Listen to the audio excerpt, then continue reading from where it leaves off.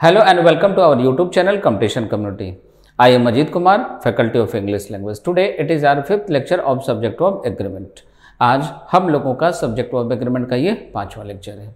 Before it we have learn many important things concept and rules of subject of agreement इसके पहले के कई classes में हम लोगों ने सब्जेक्ट ऑफ़ एग्रीमेंट के रिगार्डिंग सब्जेक्ट ऑफ़ एग्रीमेंट से जुड़े हुए कई रूल्स को, कई कॉन्सेप्ट को सीखा था। ठीक है? जिसमें वर्ब उसके नंबर उसके टेंस सब्जेक्ट सब्जेक्ट का डेफिनेशन सब्जेक्ट का सेंटेंस में स्थान कहाँ कहाँ होता है, इनको सब्जेक्ट को आइडेंटिफाई करने के ट्रिक्स को और बड़े बड़े सेंटेंसेस में आसानी से हम लोग सब्जेक्ट को कैसे आइडेंटिफाई करें, ये चीज़ें, ठीक है? उसके बाद ऑब्जेक्ट ऑब्जेक्ट के टाइप कॉम्प्लीमेंट ऑब्जेक्ट और कॉम्प्लीमेंट के बीच के डिफरेंस इन चीज़ों को सीखा था और उसके बाद हम लोगों ने सब्जेक्ट ऑफ़ एग्रीमेंट के कई इंपॉर्टेंट कॉन्सेप्ट एंड रूल्स को सीखा था। ठीक है? तो आइए आज के इस क्लास को हम लोग आगे यहाँ कंटिन्यू करते हैं। लेकिन पहले की भांति, आज के इस क्लास को स्टार्ट करने के पहले हम लोग अपने पिछले क्लास के एक शॉर्ट ग्लिम्स को देखते हैं। ठीक है? तो चलते हैं, शुरुआत करते हैं।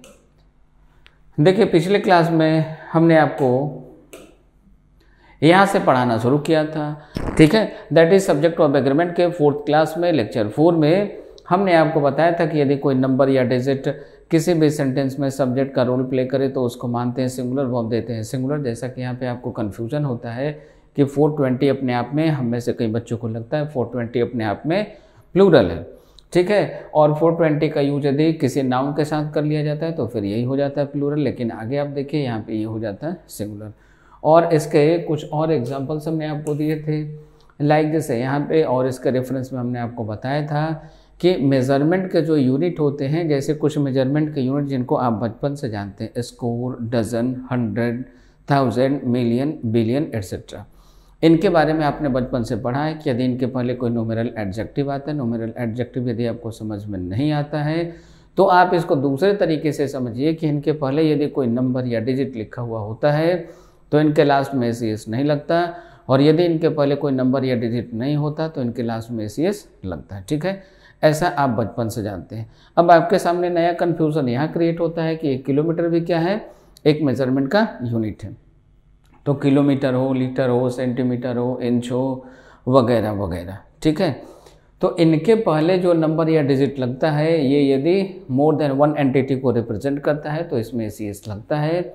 और इनके पहले आने वाला जो नंबर या डिजिट होता है, वो यदि सिंगल एंटिटी को रिप्रेजेंट करता है तो इसमें सी एस नहीं लगता। ठीक है? और तब उसी के अकॉर्डिंग इसके बाद आने वाला वर्ब सिंगुलर या प्लूरल होता है। ठीक है? इन चीज़ों को हम लोगों ने सीखा था पिछले क्लास में। और फिर उसके बाद हमने आपको यहाँ पे बताया था सम हो ऑल हो प्लेंटी हो, इनके बाद यदि ऑफ़ आए तो इनके बाद आने वाला नाउन जैसा होगा। दैट इज़ इनके बाद आने वाला सब्जेक्ट जैसा होगा, वैसा ही इनके साथ वर्ब हम लोग यूज़ करते हैं। ठीक है? फिर आगे बढ़ते हैं यहाँ से हम लोग। इसके बाद फिर हमने आपको बताया था कि यदि कोई भी दो subject as well as with together with all together like unlike rather than led by govern by in addition to a accompanied by ऐसे शब्दों से जुड़ा हो बिसाइड बिसाइड्स ऐसे शब्दों से जुड़ा हो then the word will agree with the first one तो ऐसे किसी भी वर्ड से यदि कोई भी दो सब्जेक्ट जुड़ा हो तो यहाँ जो वर्ब आता है, ये वर्ब एग्री करता है इस फ़र्स्ट वाले सब्जेक्ट के अकॉर्डिंग दैट इज़ ये पहला सिंगुलर तो ये सिंगुलर और ये प्लूरल तो ये भी प्लूरल ठीक है? इस सेकंड वाले के सिंगुलर ये प्लूरल होने से इस वर्ब पे कोई प्रभाव नहीं पड़ता। ठीक है? फिर इसका कुछ एग्ज़ाम्पल हम लोगों ने लिया था, और फिर उसके बाद हमने आपको बताया था कि यदि कोई भी दो नाउन कोई भी दो कॉमन नाउन आपस में एंड से जुड़ा हो, कोई भी दो सिंगुलर कॉमन नाउन आपस में एंड से कनेक्टेड हो, जुड़ा हुआ हो और आर्टिकल का प्रयोग सिर्फ़ और सिर्फ़ पहले वाले नाउन के पहले किया जाए तो ऐसे कंडीशन में वर्ब होता है सिंगुलर और यदि आर्टिकल का प्रयोग दोनों ही नाउन के साथ किया जाए तो ऐसे कंडीशन में वर्ब होता है प्लूरल इसको आप बचपन से जानते हैं। उसके बाद फिर हमने आपको डिस्ट्रीब्यूटिव के बारे में बताया था कि ये चारों के चारों डिस्ट्रीब्यूटिव होते हैं और इसके बाद आने वाला सब कुछ कैसा होता है? सिंगुलर होता है। फिर इसके बाद हमने आपको बताया था कि यदि इस डिस्ट्रीब्यूटिव को आपस में एंड से और से कॉमा से, या किसी कंजक्शन का यूज़ करके आपस में कनेक्ट किया जाए, जोड़ दिया जाए, इसके बावजूद इसके बाद आने वाला सब्जेक्ट और वर्ब सबका सब कैसा रहेगा? सिंगुलर रहेगा। फिर इसके बाद हमने आपको बताया था कि यदि किसी भी डिस्ट्रीब्यूटिव के बाद ऑफ़ आ जाए तो ऑफ़ के बाद आने वाला नाउन या प्रोनाउन तो रहेगा plural but the verb will be singular ठीक है? फिर इसके बाद हमने आपको बताया था कि इनका प्रयोग को रिलेटिव कंजक्शन के रूप में भी होता है और जब ये को रिलेटिव कंजक्शन का रोल प्ले करते हैं, या दूसरे आसान से भाषा में, शब्दों में हम लोग इसको एक्सप्लेन करना चाहें तो हम लोग कह सकते हैं कि ये जो को रिलेटिव कंजक्शन है, इनका जो दूसरा पार्ट होता है, यानी कि जो राइट साइड वाला पार्ट होता है, इनके बाद यहाँ जो भी सब्जेक्ट आएगा दैट इज़ और नॉर या बट ऑल्सो के तुरंत बाद यहाँ पे जो भी सब्जेक्ट आएगा दैट इज़ नाउन या प्रोनाउन आएगा वो जैसा रहेगा वैसा ही वर्ब लेगा। ठीक है? तो वो सिंगुलर होगा तो सिंगुलर वर्ब लेगा। प्लूरल होगा तो प्लूरल वर्ब लेगा। ठीक है? यही बात यहाँ पे भी हमने आपको समझाया था विथ एग्ज़ाम्पल और फिर उसके बाद हमने आपको बताया था कि यदि ईच ये जो ईच है डिस्ट्रीब्यूटिव का एक पार्ट है। यदि ईच के पहले कोई भी नाउन या प्रोनाउन आना चाहे तो आ सकता है, बेशक आ सकता है, किंतु उसको रहना होगा प्लूरल और तब ऐसे कंडीशन में ये डमी हो जाता है और यहाँ आने वाला वर्ब इसके अकॉर्डिंग नहीं, बल्कि इसके पहले आने वाले नाउन या प्रोनाउन के अकॉर्डिंग होता है। चूँकि ये हमेशा और हमेशा रहेगा प्लूरल इसलिए इस कंडीशन में यहाँ पे आने वाला वर्ब भी हो जाता है प्लूरल ठीक है? और फिर रिलेटिव प्रोनाउन को समझाने के लिए हमने आपको इसका रेफरेंस दिया था, जो हम लोग इसके पहले के क्लासेस में पढ़ चुके हैं। और उसके बाद फिर हमने आपको बताया था कि यदि कोई भी रिलेटिव प्रोनाउन हो who which that whose whom in words का ज़्यादातर यूज़ रिलेटिव प्रोनाउन के रूप में आपके एग्ज़ाम में देखने को मिलता है। तो इसके रेफरेंस में हमने आपको कहा था, हमने आपको बताया था कि इनके तुरंत पहले मैक्सिमम केसेस में, इनके तुरंत पहले यहाँ पे जो भी नाउन या प्रोनाउन यूज़ किया जाता है, ये इस रिलेटिव प्रोनाउन के एंटीसीडेंट का काम करता है। ठीक है? और इसी नाउन या प्रोनाउन के अकॉर्डिंग यहाँ पे आने वाला वर्ब गाइड होता है तो वो सिंगुलर तो ये सिंगुलर ये प्लूरल तो ये भी प्लूरल ठीक है, बात समझ में आई? तो मैक्सिमम चांसेस में क्या होता है कि who which that whom whose और इनमें से भी ये जो हु विच दैट है, इन तीनों का ही सबसे ज़्यादा यूज़ आपके एग्ज़ाम में देखने को मिलता है। तो हु विच दैट के तुरंत बाद आने वाला जो वर्ब होता है, ये इनके ठीक पहले आने वाले नाउन या प्रोनाउन के अकॉर्डिंग 99 परसेंट केसेस में गाइड होता है। ठीक है? और फिर इसके बाद हमने आपको बताया था पिछले क्लास क्लास में चलते चलते कि जो कलेक्टिव नाउन होते हैं, कलेक्टिव नाउन जैसा रहेगा वैसा वो अब लेगा। ठीक है? तो पिछला क्लास हमारा यहीं तक का था। अब आइए आज के क्लास को हम लोग यहाँ के आगे पढ़ना शुरू करते हैं कुछ नए कॉन्सेप्ट के साथ।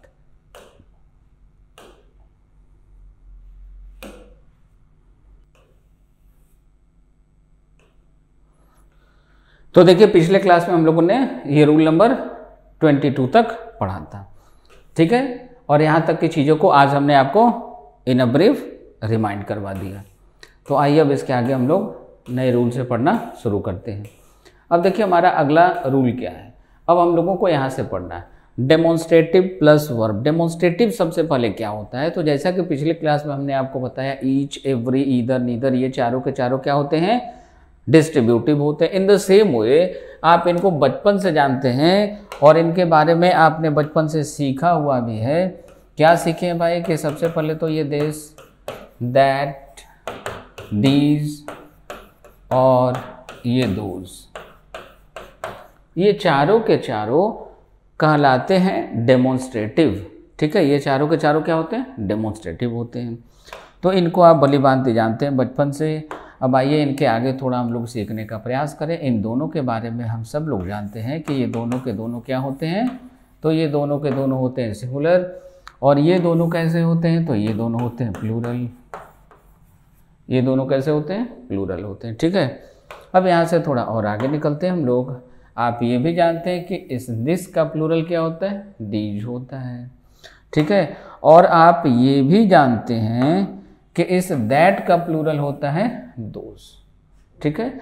इस दैट का प्लूरल क्या होता है? दोज होता है। ठीक है?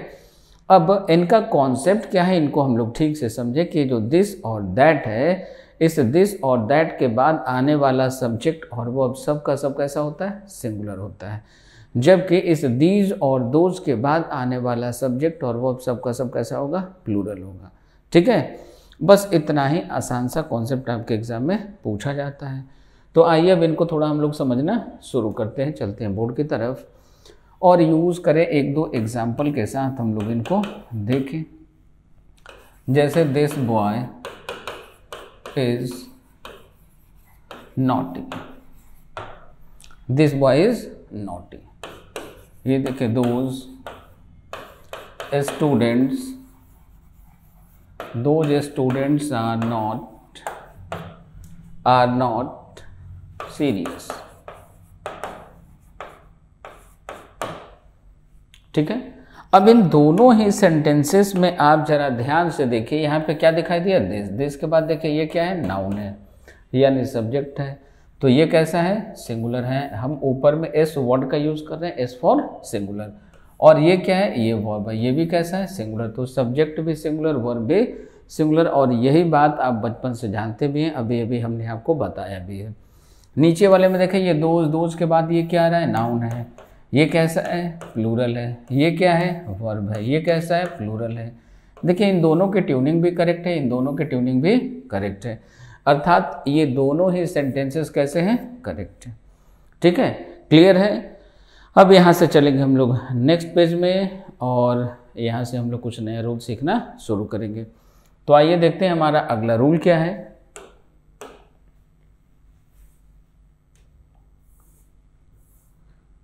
तो इस पर बेस्ड कुछ क्वेश्चन भी हम लोग सॉल्व करेंगे। लेकिन उसके पहले हम लोग यहाँ पे एक अगले रूल को सीखते चले। देखिए, यहाँ पे सामने लिखा हुआ है subject of study subject of study के साथ वर्ब कैसा यूज़ करते हैं? सबसे पहले हम लोग सीखे सब्जेक्ट ऑफ़ स्टडी क्या है। जैसे हम लोग हिंदी पढ़ते हैं इंग्लिश पढ़ते हैं मैथ पढ़ते हैं रीजनिंग पढ़ते हैं। आपने बचपन से पढ़ा है फिजिक्स केमिस्ट्री बायोलॉजी मैथमेटिक्स ठीक है? और बड़ा होके थोड़ा सा आगे बढ़ते हम लोग तो हम लोग को कई और ऐसे सब्जेक्ट सुनने को, सीखने को मिलते हैं। जैसे फोनेटिक्स जो आपके एग्ज़ाम में बार बार पूछा जाता है लिंग्विस्टिक्स ये आपके एग्ज़ाम में बार बार पूछा जाता है, ठीक है? तो अब यहाँ पे कन्फ्यूज़न ये क्रिएट होता है कि कुछ ऐसे सब्जेक्ट होते हैं, जिनके लास्ट में एस या ई एस लगा होता है, और कुछ ऐसे सब्जेक्ट होते हैं, जिनके लास्ट में एस ई एस नहीं लगा होता। ठीक है? तो हमारा आपका जो कॉमन माइंडसेट होता है, जो कॉमन ह्यूमन माइंडसेट होता है, वो ये कहता है कि नाउन के लास्ट में ए सी एस लगा हुआ है दैट इज़ वो प्लूरल है, जबकि हमेशा ऐसा नहीं होता। तो फोनेटिक्स के लास्ट में चूँकि ए सी एस लगा हुआ है फिजिक्स के लास्ट में एस लगा हुआ है तो हम में से कुछ लोगों को कन्फ्यूज़न होता है कि इसके लास्ट में एस लगा है दैट इज़ ये प्लूरल है, और इसके साथ हमें प्लूरल वर्ब यूज़ करना चाहिए बट ऐसा होता नहीं है।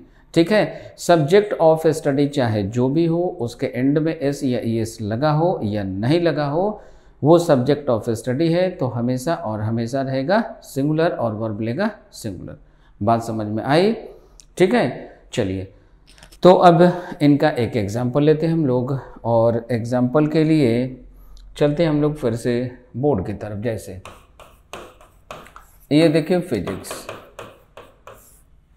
ठीक है? अब फिजिक्स के साथ हम क्या यूज़ करें? इज़ आर वॉज़ वर या हैज़ हैव क्योंकि सिंगुलर प्लूरल यही होते हैं।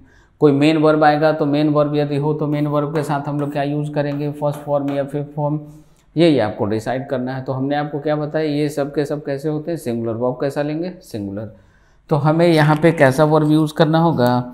यहाँ पे हम लोग यूज़ करेंगे इज़ ये रॉन्ग हो जाएगा, ये वॉज़ ये रॉन्ग हो जाएगा, ये हैज़ ये रॉन्ग हो जाएगा, ये और ये रॉन्ग हो जाएगा, क्योंकि वर्ब का फ़र्स्ट फॉर्म होता है प्लूरल और फिफ्थ फॉर्म होता है सिंगुलर ठीक है? क्लियर है डाउट और सिमिलरली इसी प्रकार से फोनेटिक्स होता है फोनेटिक्स होता है और लिंग्विस्टिक्स होता है। लिंग्विस्टिक्स ये दोनों आपके एग्ज़ाम में बार बार पूछे जाते हैं, थोड़ा सा अनकॉमन है, हमें से कुछ लोग इसको नहीं जानते हैं। इसीलिए इसको बार बार आपके एग्ज़ाम में रिपीट किया जाता है, पूछा जाता है यूज़ किया जाता है, ताकि आप में से ज़्यादातर बच्चे ऐसे क्वेश्चंस में इरर करें, गलती करें और वो रिजेक्ट होते रहें। ठीक है? आगे बढ़ते हैं यहाँ से हम लोग। और अब हम लोग चलते हैं फिर से स्लाइड की तरफ़। और अब स्लाइड में इन सारे कॉन्सेप्ट पे बेस्ड हम लोग क्वेश्चन बनाते हैं पहले इसी का बनाते हैं फिर आते हैं दिस दैट पे। तो इन सारे क्वेश्चन का फटाफट स्क्रीनशॉट ले लें और इसको एक बार जल्दी से सॉल्व करें।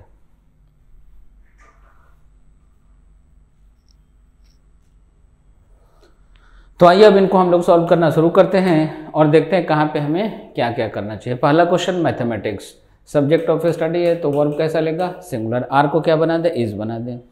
नेक्स्ट क्वेश्चन नंबर टू में देखें पॉलिटिक्स पॉलिटिक्स भी क्या है? सब्जेक्ट ऑफ़ स्टडी है। तो इसके साथ भी वर्ब को क्या बना दें हम लोग? सिंगुलर बना दें। क्वेश्चन नंबर थ्री में चलते हैं, फिर से मैथमेटिक्स है। वर्ब कैसा लेगा? सिंगुलर तो इसके साथ भी आर की जगह इज़ बोर्ड को थोड़ा सा क्लीन किया जाए। नेक्स्ट यहाँ देखिए फोनेटिक्स फोनेटिक्स के साथ इज़ तो ये पार्ट तो करेक्ट हो गया। इसका आंसर क्या बनेगा? Option number D no error next question number five में चलते हैं linguistics subject of study, singular verb लेगा, सिंगुलर आर की जगह इज़ हो जाएगा। तो क्वेश्चन नंबर फाइव का आंसर क्या बनेगा? ऑप्शन नंबर बी बनेगा। Question number six, mathematics is, mathematics के साथ क्या लगा? इज़। सब्जेक्ट ऑफ़ स्टडी है वर्ब ले लिया सिंगुलर। तो इसका आंसर बनेगा option number D, no error. Clear? अब चलते हैं यहाँ से फिर आगे। इसके पहले दिस दैट वाला जो क्वेश्चन था, उसको थोड़ा हम लोग सॉल्व करते चले तो आइए यहाँ पे, और फटाफट इसका स्क्रीनशॉट ले। अब आइए इनको हम लोग साथ साथ सॉल्व करना शुरू करते हैं। यहाँ देखिए दिस दिस के बाद बुक बुक कैसा है? सिंगुलर वर्ब कैसा है? सिंगुलर तो यहाँ तक के पार्ट में कोई एरर नहीं है। इसका आंसर क्या बनना चाहिए? तो आंसर बनना चाहिए अच्छा आगे देखिए वन ऑफ़ भी लगा हुआ है। One of most signing treaties ये देखिए वन ऑफ़ के बाद आने वाला नाउन या प्रोनाउन इसके बाद देखिए ऑफ़ तो नाउन या प्रोनाउन होना चाहिए प्लूरल ये ऑफ़ आ गया, ठीक है? तो ये नाउन या प्रोनाउन कैसा होना चाहिए? प्लूरल दिया हुआ है प्लूरल दैट इज़ ये देखिए रिलेटिव प्रोनाउन के बाद आने वाला वो किसके अकॉर्डिंग इसके अकॉर्डिंग अब ये मोरलिटी कैसा है? सिंगुलर मोरलिटी कौन सा नाउन है? एब्स्ट्रैक्ट नाउन एब्स्ट्रैक्ट यानी कि अनकाउंटेबल अनकाउंटेबल यानी सिंगुलर वर्ब लेगा सिंगुलर तो वो भी यहाँ यूज़ किया गया सिंगुलर दैट इज़ कि क्वेश्चन नंबर वन में कहीं कोई एरर नहीं है, इसका आंसर क्या बनेगा? Option number D that is no error next यहाँ से आगे बढ़ते हैं, हम लोग चलते हैं क्वेश्चन नंबर टू में। This is the age of one of the greatest discoveries देखिए वन ऑफ़ के बाद ये डिस्कवरीज आ गया। अब फिर देखिए, ये दैट रिलेटिव प्रोनाउन तो ये जो हु विच दैट होता है, इसके तुरंत बाद आने वाला जो नाउन होता है, किसके अकॉर्डिंग होता है? इनके तुरंत पहले आने वाले नाउन या प्रोनाउन के अकॉर्डिंग तो ये डिस्कवरीज कैसे है? प्लूरल इसलिए ये जो हैज़ है, इसको क्या करना होगा? तो इस हैज़ को कन्वर्ट करना होगा है में। दैट इज़ कि इस क्वेश्चन का आंसर क्या बनेगा? ऑप्शन नंबर सी और देखिए, अभी अभी जो हम लोगों ने सीखा था, ये देखिए दिस इस सेंटेंस में that is question number two में, ये जो दिस है, ये जो गिवन है दिस ये दिस काम कर रहा है सब्जेक्ट का, ये होता है सिंगुलर वर्ब लेता है सिंगुलर तो इन दोनों की ट्यूनिंग कैसी है? करेक्ट तो ये पार्ट करेक्ट हो गया। नेक्स्ट बोर्ड को क्लीन करें। आगे चलते हैं।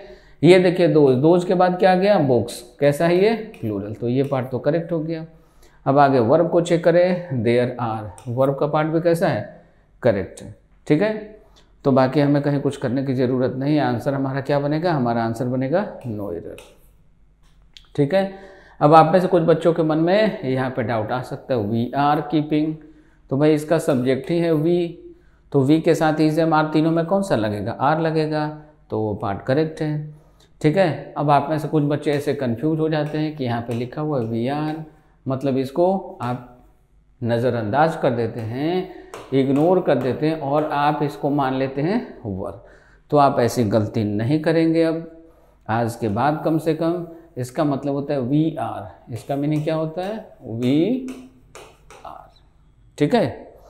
तो यहाँ से आगे निकलते हैं हम लोग, चलते हैं नेक्स्ट क्वेश्चन में क्वेश्चन नंबर फोर में। देखिए हमारा क्वेश्चन नंबर फोर क्या है? I want to make sure that the car back there isn't following इसमें ऐसा कुछ है ही नहीं, ये इसका सब्जेक्ट है। ठीक है, अब कार कार के अकॉर्डिंग कैसा होगा? इजेंट फॉलोइंग फॉलो नहीं कर रहा फॉलोइंग अस ठीक है तो इसमें कहीं कोई एरर नहीं है, इसका आंसर बनेगा हमारा नो एरर नेक्स्ट तो इसके आगे चलते हम लोग। अब कुछ और नए रूल की तरफ़।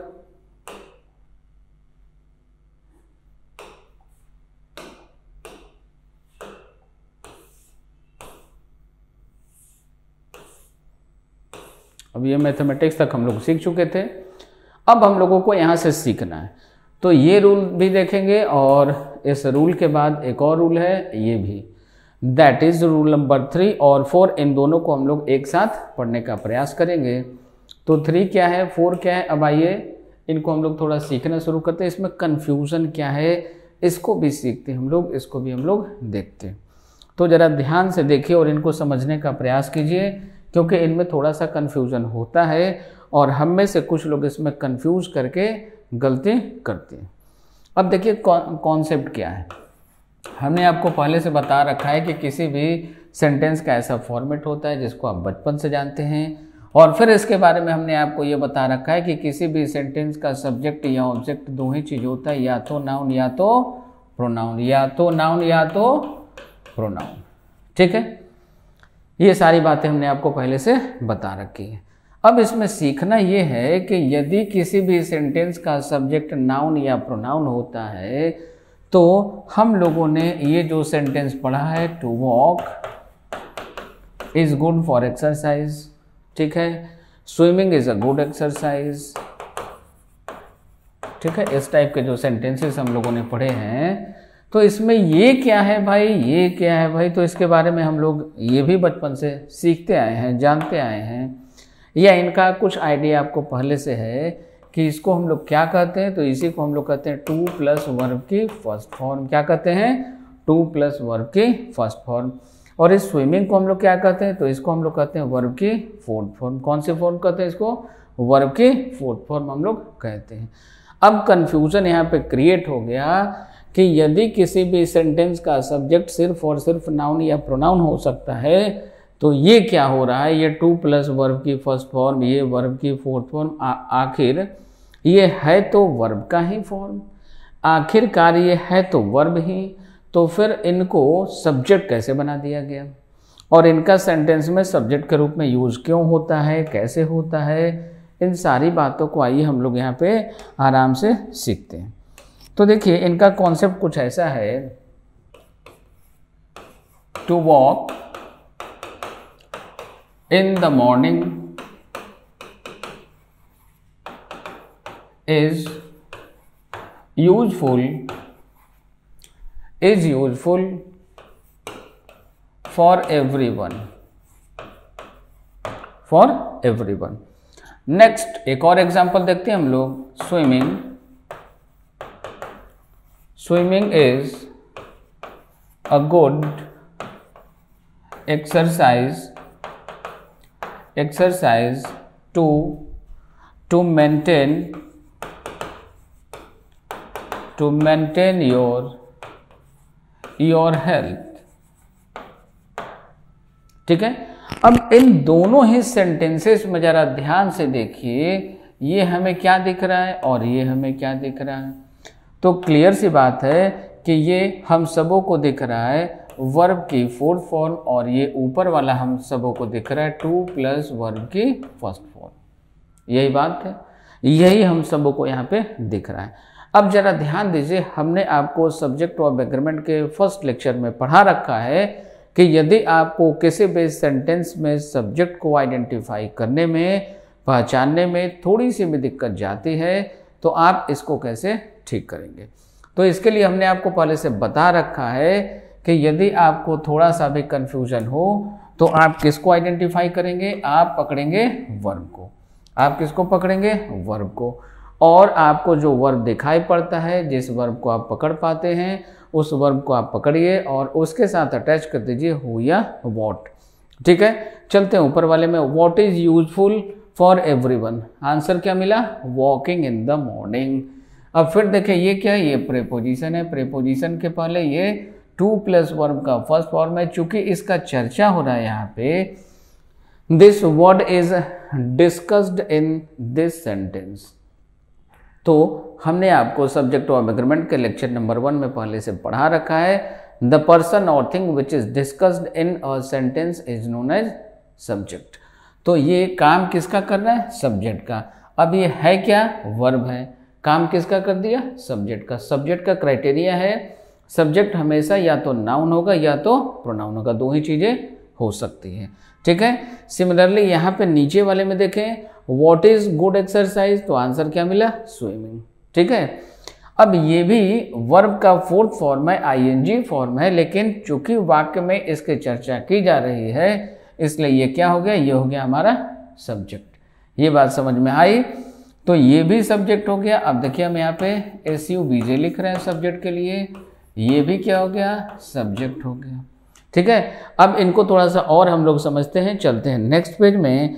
अब यहाँ जरा देखिए, यदि कोई टू प्लस वर्ब का फ़र्स्ट फॉर्म हो, या वर्ब का फोर्थ फॉर्म हो दैट इज़ आईएनजी फॉर्म हो, इनके बारे में एक रूल है ग्रामर का कि यदि इन दोनों में से कोई भी किसी भी सेंटेंस में या कहीं भी ये सब्जेक्ट का रोल प्ले करे तो इसी को मानते हैं हम लोग सिंगुलर क्या मानते हैं? सिंगुलर मानते हैं और तब इसको, इसके साथ वर्ब हम लोग यूज़ करते हैं सिंगुलर दैट इज़ इसके साथ आने वाला वर्ब कैसा होगा? सिंगुलर होगा।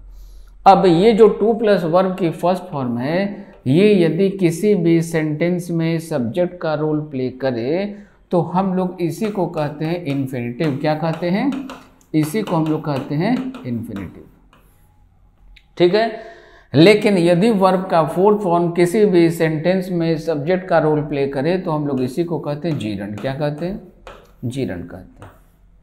ठीक है, बात समझ में आ रही है?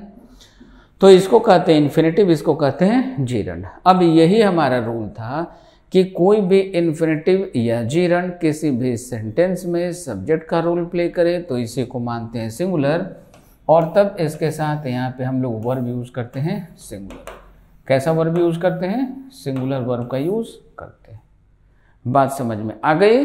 चलिए तो अब हम लोग चलते हैं। इन रूल्स पे बेस्ड कुछ क्वेश्चन को सॉल्व करने का प्रयास करते हैं। अब ये रूल नंबर थ्री और रूल नंबर फोर हम लोगों ने दोनों को साथ साथ पढ़ लिया है। तो इन दोनों पे बेस्ड क्वेश्चन को हम लोग एक साथ सॉल्व करने का प्रयास करते हैं। पहले शुरुआत करते हैं इस स्लाइड से।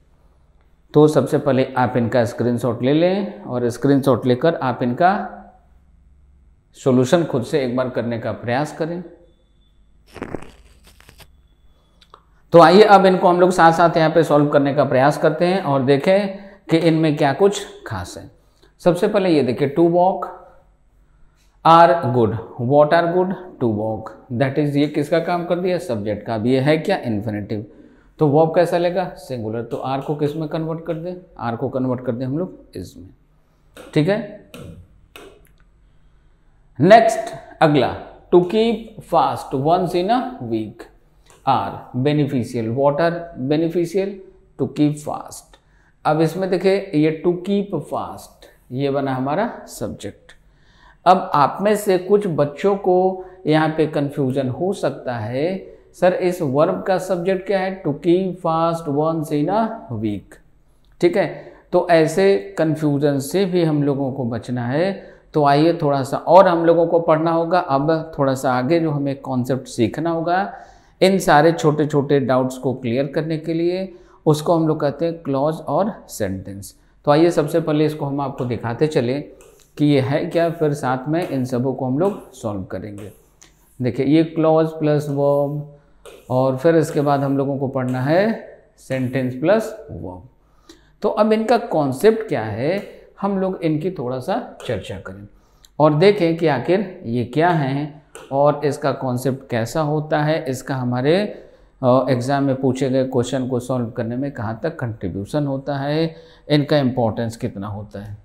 तो चलते हैं हम लोग सबसे पहले बोर्ड की तरफ़ और यहाँ से इनको समझना शुरू करते हैं। सबसे पहली बात कि क्लॉज होता क्या है? ये जो क्लॉज है, ये क्या होता है? या फिर ये सेंटेंस क्या होता है? ठीक है? तो सबसे पहले हम लोग इनको समझते हैं। देखिए, हमने आपको सब्जेक्ट ऑफ़ एग्रीमेंट के फ़र्स्ट लेक्चर में बताया था। इसको आप सब लोग बचपन से जानते भी हैं। वर्ड क्या होता है भाई? तो group of letters is called word अक्षरों के समूह को हम लोग कहते हैं शब्द।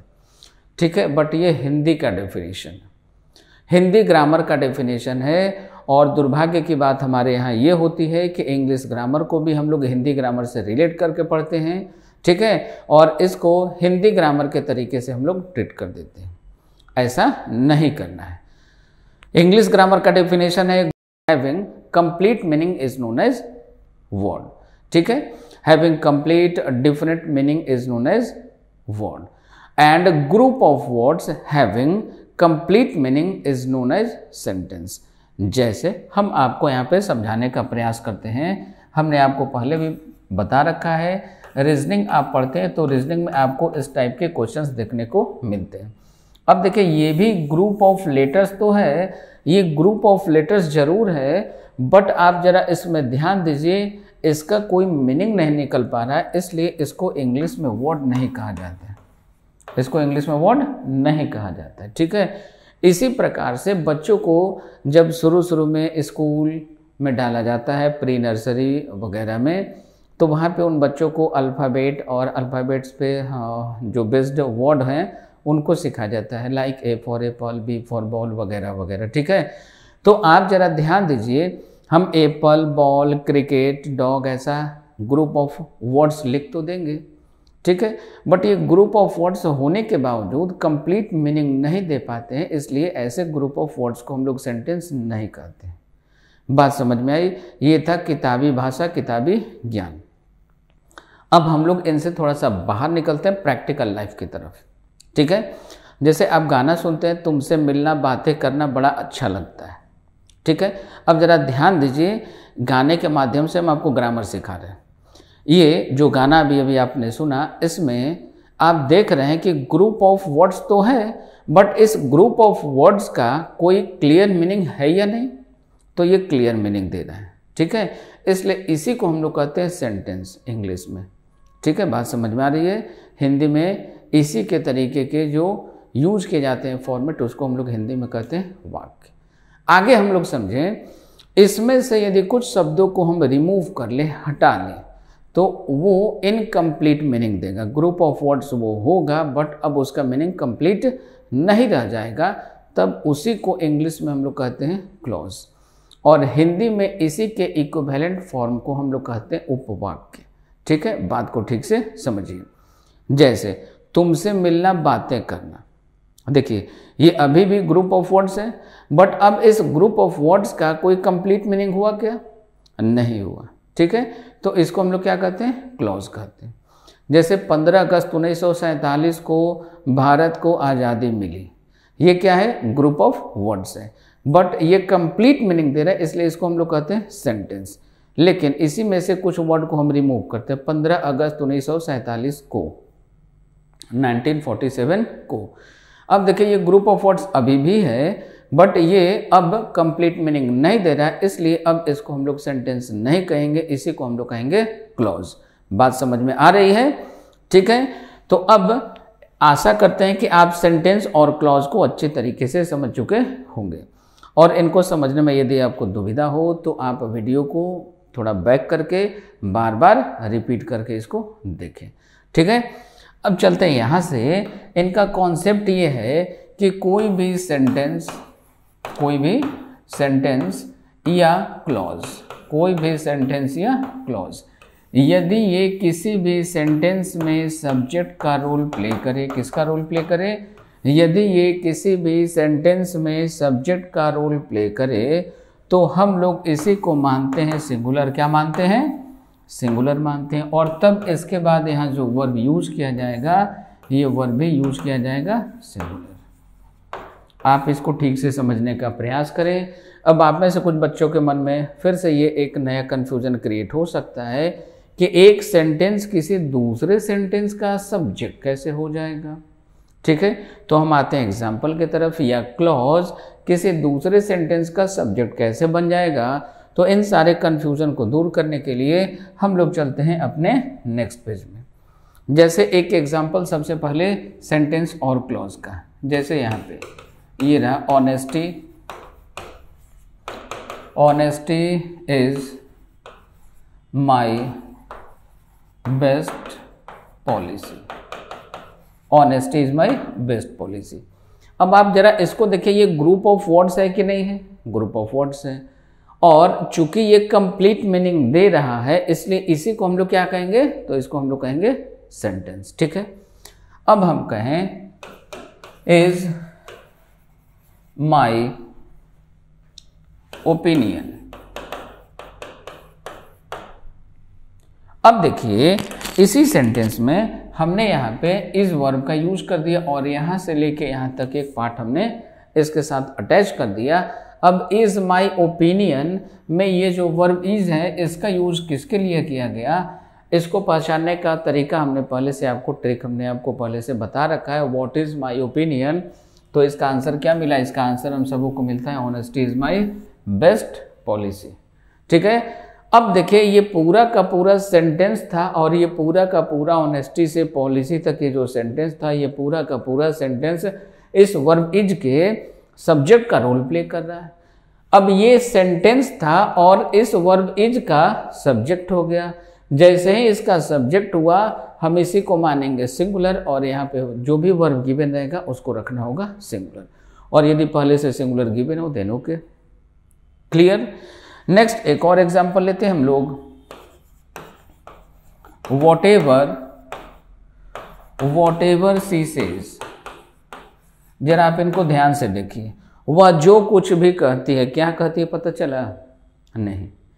लेकिन ये ग्रुप ऑफ़ वर्ड्स है तो ये ग्रुप ऑफ़ वर्ड्स है और इसका इनकम्प्लीट मीनिंग है। इसका कंप्लीट मीनिंग हमें नहीं दिख रहा है। इसका कंप्लीट मीनिंग यहाँ से नहीं निकल पा रहा है। इसलिए इसी को हम लोग क्या कहेंगे? तो इसी को हम लोग कहेंगे क्लॉज ठीक है? इज़ करेक्ट इज़ करेक्ट अब जरा ध्यान दीजिए, इसमें फिर से वही बात। हम यदि आपसे कहें कि बताइए ये जो वर्ब इज़ है, इस वर्ब इज़ का सब्जेक्ट क्या है? तो फिर वही बात वॉट इज़ करेक्ट हमारा आंसर क्या मिलेगा? वॉट एवर सी सीज तो ये पूरा का पूरा ये जो पार्ट है, ये पूरा का पूरा पार्ट है तो क्लॉज लेकिन काम किसका कर रहा है ये? अब ये काम कर रहा है सब्जेक्ट का। किसके सब्जेक्ट का? तो इस वर्ब इज़ के सब्जेक्ट का रोल प्ले कर रहा है। ये वर्ब इज़ है और इसका चूँकि ये सब्जेक्ट बन गया तो था ये क्लॉज के तो यहाँ पे इस गिवन सेंटेंस में इस वर्ब इज़ के सब्जेक्ट का रोल प्ले कर रहा है। इसलिए इसी को हम लोग यहाँ पे मानेंगे सिंगुलर और यहाँ पे इज़ वर्ब हो आर हो, कोई भी वर्ब लिखा हो, इसको हम लोग चेंज करके बनाएँगे सिंगुलर और यदि ऑलरेडी सिंगुलर हो तो करेक्ट है। प्लूरल होगा तो उसको चेंज करना होगा चेंज करके सिंगुलर में कन्वर्ट करना होगा। बात समझ में आ गई? तो यहाँ से आगे चलते हम लोग। और अब सेंटेंस और क्लॉज का जो भी फॉर्मेट था, जो भी डिफरेंस था, उसको हम लोगों ने समझ लिया है। तो आइए अब चलते हैं। इन रूल्स पे बेस्ड कुछ क्वेश्चन को देखते हैं और उसके बाद फिर हम लोग चलेंगे इन्फिनिटी और जीरेंड वाले। That is to plus V one और वी फोर वाले कॉन्सेप्ट की तरफ़। तो इन सारे क्वेश्चन का फटाफट आप एक बार स्क्रीनशॉट ले लें और स्क्रीनशॉट लेके जल्दी से इनको सॉल्व करने का खुद से एक बार प्रयास करें। फिर हम सब लोग इसको साथ साथ यहीं पे सॉल्व करेंगे।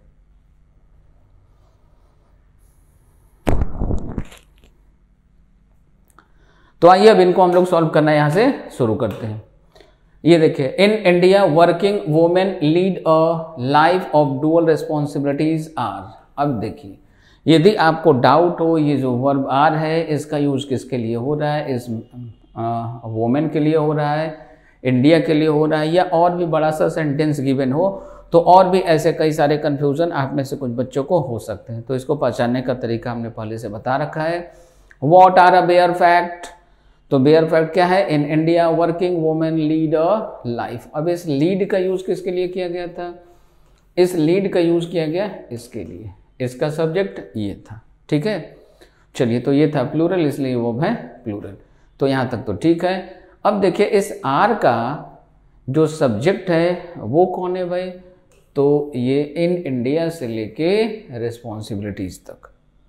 ठीक है? भारत में जो कामकाजी महिलाएँ हैं वो दो प्रकार का दोहरा उत्तरदायित्व निभाते हैं। घर का भी काम उनको देखना पड़ता है और ऑफ़िस का काम भी उनको देखना पड़ता है। और दोनों ही काम को भारतीय जो वर्किंग वुमेन होती हैं, बड़े अच्छे तरीके से निभाती हैं। ठीक है? तो ये पूरा का पूरा क्या था? सेंटेंस था। लेकिन ये सेंटेंस होने के बावजूद इस वर्ब आर का सब्जेक्ट का रोल प्ले कर रहा था। ठीक है? तो आर यहाँ पे करेक्ट हम नहीं बता रहे। इस वर्ब का सब्जेक्ट का रोल प्ले कर रहा था। अब ये था सेंटेंस और इस वर्ब के सब्जेक्ट का काम कर रहा है, इसलिए इसको मानेंगे सिंगुलर और यहाँ पे वर्ब यूज़ करेंगे सिंगुलर तो आर को किसमें कन्वर्ट करना होगा? इस आर को कन्वर्ट करना होगा इस में। क्लियर है? नेक्स्ट चलते हैं। अगले क्वेश्चन में हम लोग Mumbai is full of tall buildings Mumbai ऊँचे ऊँची इमारतों से भरा हुआ है। Is strength of this city. इस शहर का ये क्या है भाई? तो मजबूती है, स्ट्रेंथ है। अब देखिए, ये पूरा का पूरा ये मुंबई से लेके टॉल बिल्डिंग्स तक ये पूरा का पूरा ग्रुप ऑफ़ वर्ड्स है, ये सेंटेंस है और काम कर रहा है इस वर्ब के सब्जेक्ट का। तो चूँकि ये सेंटेंस था और काम कर रहा है सब्जेक्ट का सब्जेक्ट हो गया, मानेंगे इसको सिंगुलर वर्ब देंगे सिंगुलर और यहाँ जो वर्ब यूज़ किया गया, ये वर्ब ऑलरेडी है सिंगुलर तो इस क्वेश्चन नंबर टू के आंसर की बात करें तो हमारा आंसर क्या बनेगा? ऑप्शन नंबर डी बनेगा। ठीक है? Option number D. Next board को क्लीन करें, चलते हैं आगे। क्वेश्चन नंबर थ्री में honesty is the best policy. अब यहाँ पे आर होगा क्या? नहीं होगा। अब ज़्यादा हमें डिस्कस करने की ज़रूरत हमें महसूस नहीं होती है। चूँकि कॉन्सेप्ट को यहाँ तक के क्वेश्चन में हम लोगों ने काफ़ी आसान तरीके से डिटेल में समझने का प्रयास किया है। तो अब इधर हम लोग सिंपली आंसर लिखें। आर को किसमें कन्वर्ट कर दें? इज़ में। Next she wants to be an actor and अब देखिए she wants to be an actor ये पूरा का पूरा क्या हो गया? एक सेंटेंस हो गया। She belongs to lower middle class ये भी क्या हो गया? पूरा का पूरा एक सेंटेंस हो गया। अब इन दोनों सेंटेंसेस को कनेक्ट कर दिया गया एंड से तो ये वही बात हो गई कि राम एंड श्याम तो अब क्या लगाएँ? इज़ लगाएँ या आर लगाएँ? तो ऐसे सेंटेंस में, ऐसे कंडीशन में इसके साथ जो वर्ब यूज़ किया जाएगा, वो वर्ब अब कैसा होगा? उससे लिखना होगा प्लूरल अब यहाँ जो गिवन वर्ब है, कैसा है? सिंगुलर तो इस इज़ को हम लोग किसमें कन्वर्ट कर दें? आर में. ठीक है, बात समझ में आ रही है? तो अब बोर्ड को क्लीन करते हैं और चलते हैं सेंटेंस के पहले. अब जो क्लॉज पे बेस्ड क्वेश्चन हम लोगों को बनाने थे, आते हैं इधर हम लोग. तो अब यहाँ देखिए, ये जो क्लॉज पे बेस्ड कुछ क्वेश्चंस हैं, यहाँ पे आपको दिखाई दे रहे हैं। तो अब इन क्वेश्चंस को सॉल्व करने का आप एक बार प्रयास करें।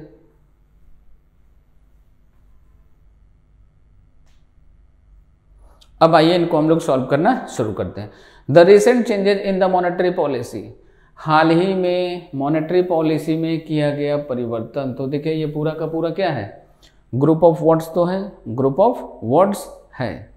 ठीक है ग्रुप ऑफ़ वर्ड्स है है। अब ये ग्रुप ऑफ़ वर्ड्स है बट ये कंप्लीट मीनिंग नहीं दे रहा इसलिए इसको क्या बोलेंगे? क्लॉज ठीक है? और ये देखिए, इस वर्ब के सब्जेक्ट का रोल प्ले कर रहा है।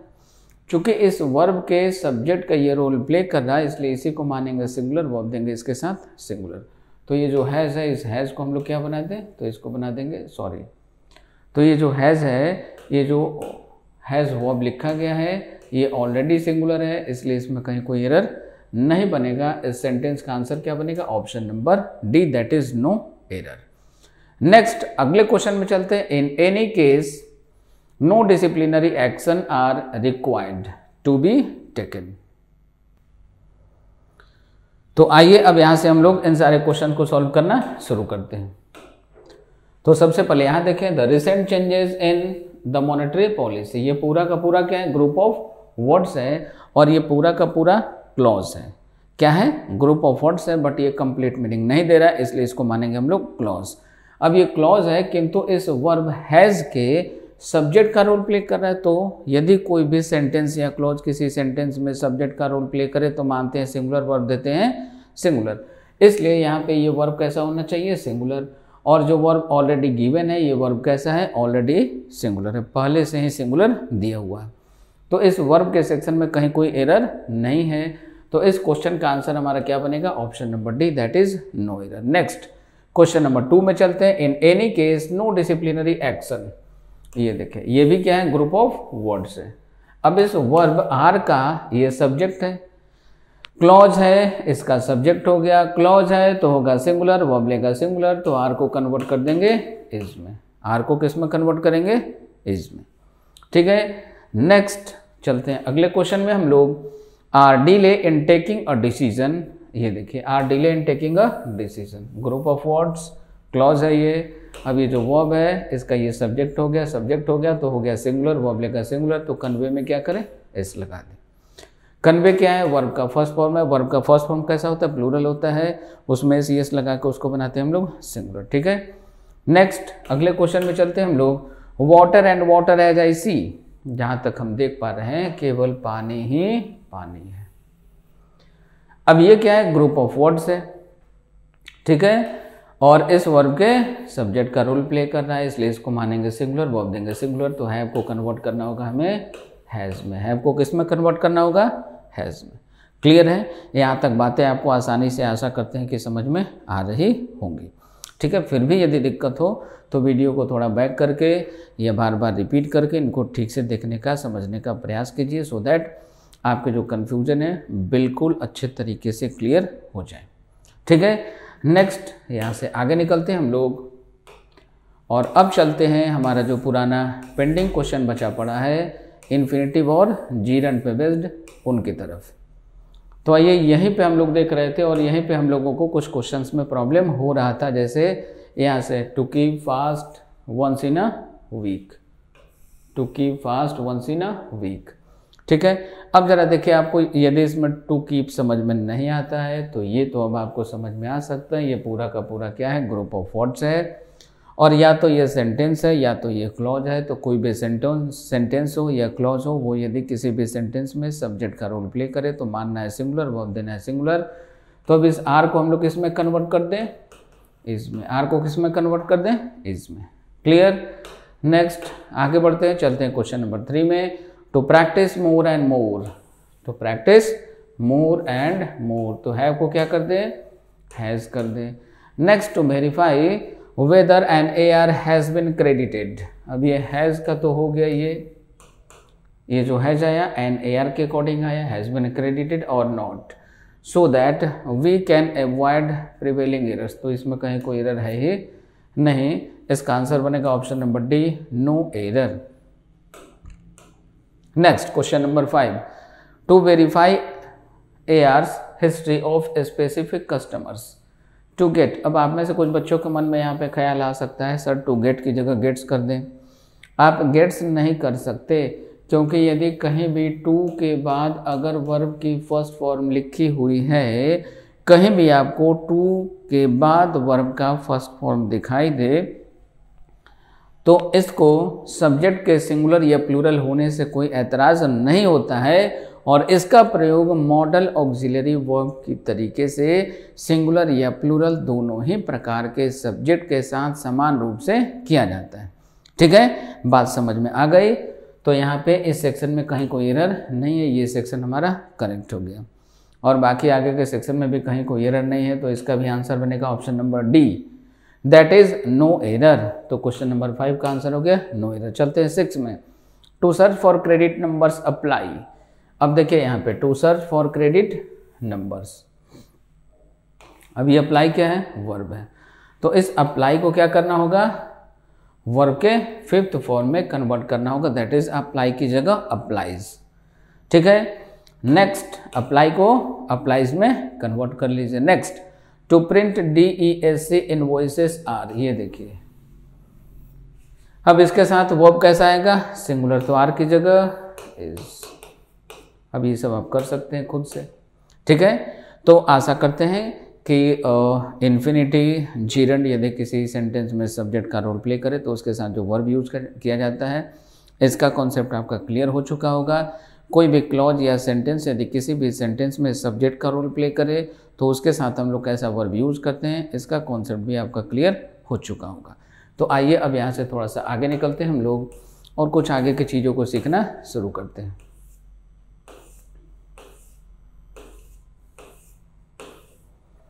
अब यहाँ पे आते हैं हम लोग इनडिफरेंट प्रोनाउन अब ये इनडिफरेंट प्रोनाउन क्या होता है और इनका कॉन्सेप्ट क्या है, इनको हम लोग सीखें।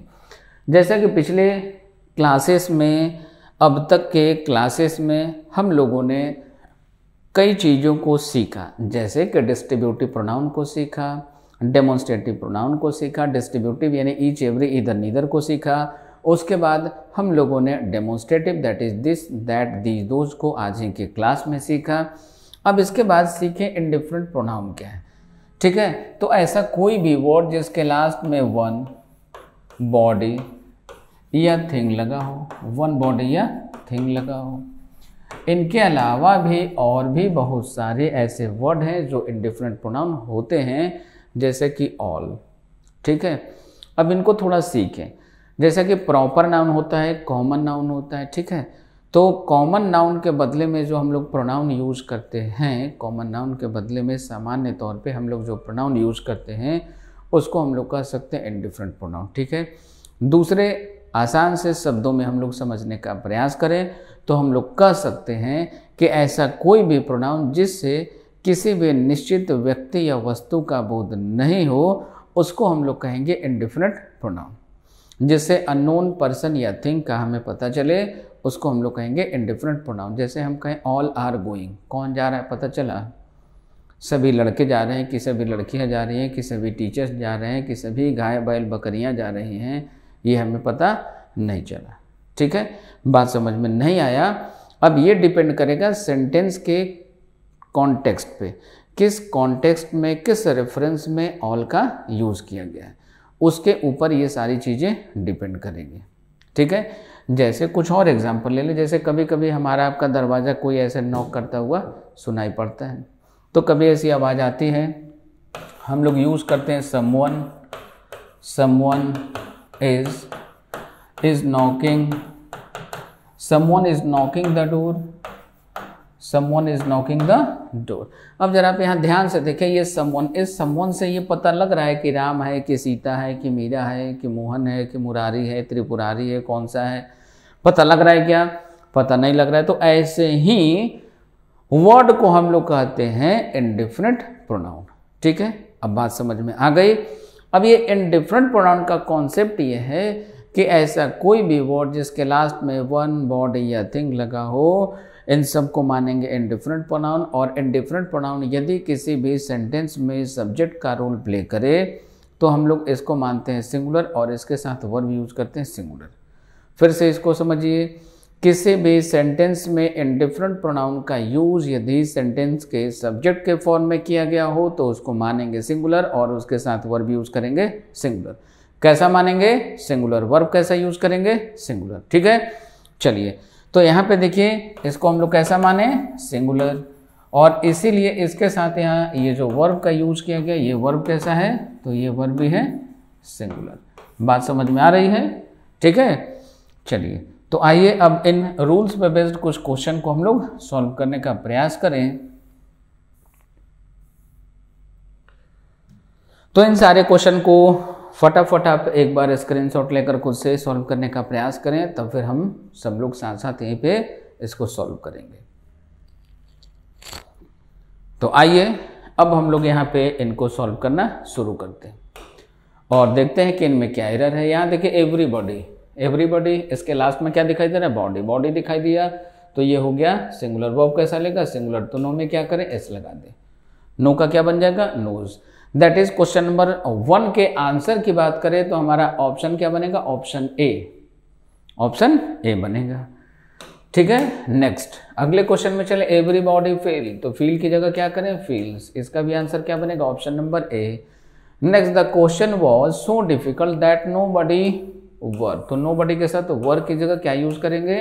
वॉज़ का यूज़ करेंगे।